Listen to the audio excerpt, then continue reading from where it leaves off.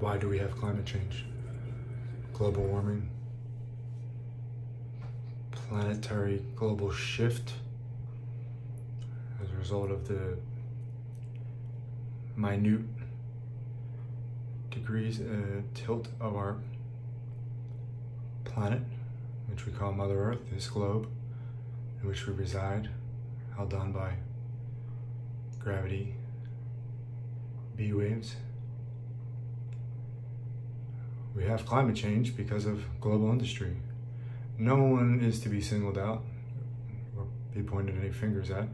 We're all culprits. As long as you're a modern day citizen living in this day and age, we're all queens and kings, so to speak, aren't we?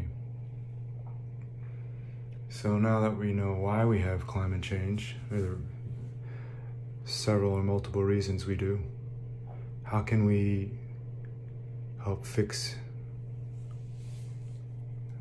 these very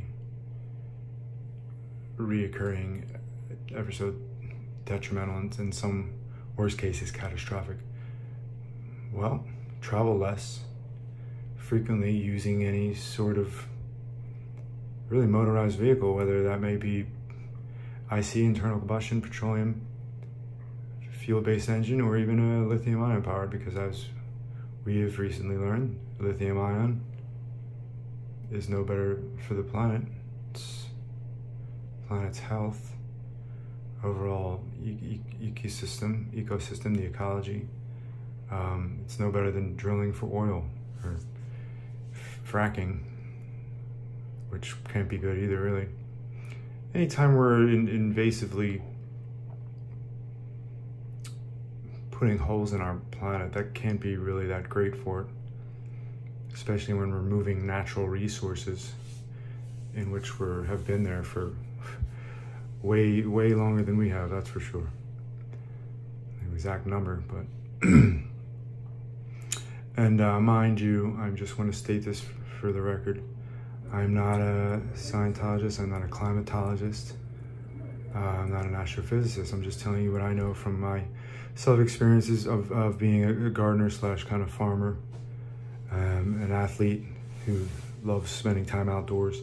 I noticed that the trees and the grass are definitely have been slowly diminishing as far as their their foliage and their color. And the only reason if you see them green is because they're being watered artificially or they're being um, treated with poisonous chemicals. And, and, don't be fooled if you see a, a natural lawn company, it doesn't necessarily mean it's organic. They're just maybe using less pesticides and herbicides, which are absolutely terrible for the planet. I mean, not to single anyone out, but you know, anytime you're not dealing with organic farming, I know a lot of you can argue, yeah, well, there's over Eight. six billion people in this world. How are we going to to convert all the farms to organic. You, well, you know, it could be good. It could be done. Mother Nature takes care of itself and knows how to. And if we just try to help, not try, but at this point in time, we have to do our best to help, assist and aid Mother Nature by choosing to eat organic and maybe not so much fast food, not that's treated with toxic pesticides and herbicides and, and, hundreds of millions of pounds of toxic sludge waste and feeding the animals, you know, GMO, genetically modified organisms, GEI, genetically engineered ingredients, um, and, and, you know, and make sure they're being fed a, a, diet in which is natural to them. So we're not saying to do anything extreme like convert to veganism or even vegetarianism. Maybe just sparingly, try to moderate your meat consumption, your, you know, your intake of meat on a daily basis. Um, so that all said, you know, those are ways we can definitely help assist and aid Mother Nature in not experiencing these these world or you know I was just gonna worldwide, but yeah, you know, global, countrywide droughts, catastrophic disasters, as a result from things I have already stated. Uh, yeah, you know, obviously if you live in the city, you can you can choose to walk or bike or use some sort of, uh, you know, There's plenty of electric powered transits. That's the whole reason why they're invented, thanks to you know Genius inventors and pantographs and thank you Edison and, and Tesla, Thomas Edison, Nikola Tesla. Obviously, you know Edison was the inventor of DC direct current, and Nikola Tesla was the inventor of AC alternating current. And you know, there's uh, numerous inventors in between, but I'm gonna try to do my best not to make this video so long. Um, I know I'm going off topic here, but yeah, you know, just do your best to utilize transit, walk, bike, whatever.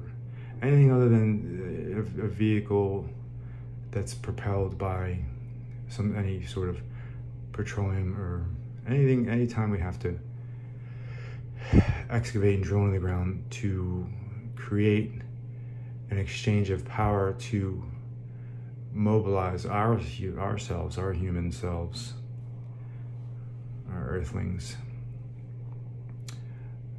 That is in turn causing a higher carbon footprint. So we want to do our best to reduce the emissions. You know, not not saying zero, but and this goes for everything, you know. But so we covered why, where, when. Well, you already covered it. I just kidding. Why? Planet's in big trouble. Where? Our Mother Earth. When? Right now. Uh, what? Global warming, climate change. How? I already gave you some reasons. If you like this video, enjoy enjoy um, this type of content. I don't usually post videos uh, regarding this type of content in correlation to, you know, climate.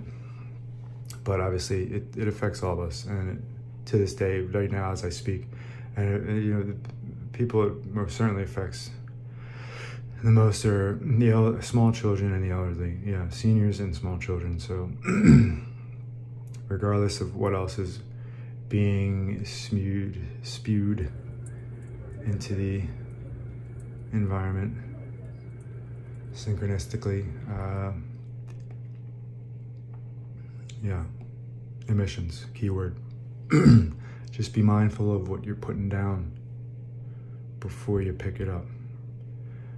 All right, hey, subscribe and like, guys. Thanks for watching. I hope you enjoyed the video.